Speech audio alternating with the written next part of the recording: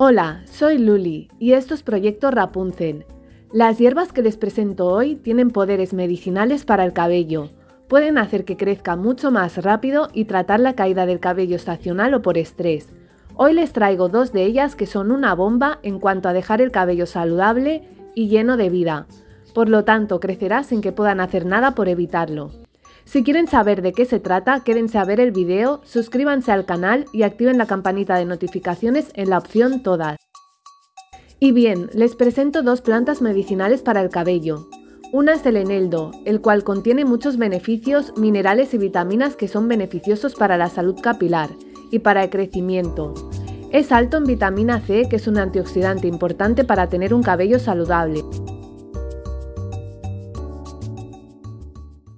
Y la hierbabuena es otra de las plantas que si están pasando por una pérdida de cabello leve, debido al estrés, un embarazo o un simple cambio de estación, y notan que el cabello no les crece o les cae, la hierbabuena es el mejor aliado. Además tiene un suave olor a menta.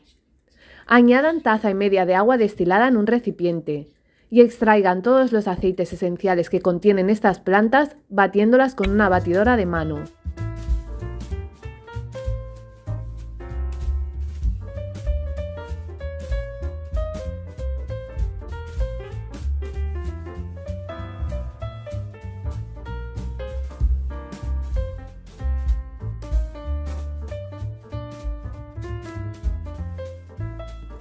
Finalmente cuelen la mezcla.